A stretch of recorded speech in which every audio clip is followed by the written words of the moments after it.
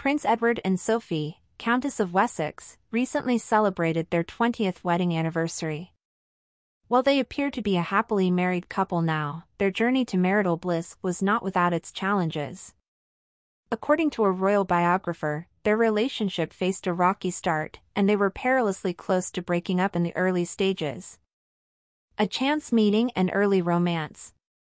The story of Prince Edward and Sophie's love story began in 1993 when they met at a charity tennis match organized by Prince Edward himself in London.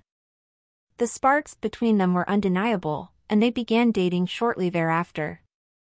Uncertain times. Ingrid Seward's book Prince Edward sheds light on the difficulties the couple encountered. In 1994, Prince Edward, the youngest son of Queen Elizabeth II and Prince Philip, seemed distant and cold in the relationship. Like any couple, their attempts to adapt to each other's lives led to arguments and disagreements. By the summer of 1994, their relationship was on the brink of collapse. Edward was reportedly alarmed by the swift progression of their romance and struggled with indecision, a common trait among men in his family.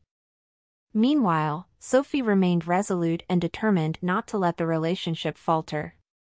Despite rumors of a breakup circulating in the public, Sophie dismissed them as mere nonsense. A turning point. Sophie's resolve and flexibility with the truth gave Edward the breathing space he needed to reassess their relationship. By the end of 1994, the couple managed to navigate their challenges and find a way back to stability. The wedding and family life. Their journey culminated in a beautiful wedding ceremony on June 19, 1999, at St. George's Chapel. Over the years, their love blossomed, and they built a family together. Today, they have two children, Lady Louise Windsor, aged 15, and James, Viscount Severn, aged 11, who is the youngest grandson of Queen Elizabeth II. Conclusion The 20th wedding anniversary of Prince Edward and Sophie, Countess of Wessex, is a testament to the strength of their love and their ability to overcome challenges.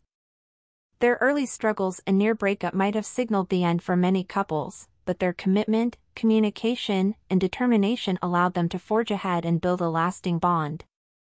Their enduring love story serves as an example of how relationships can weather the storms and aim.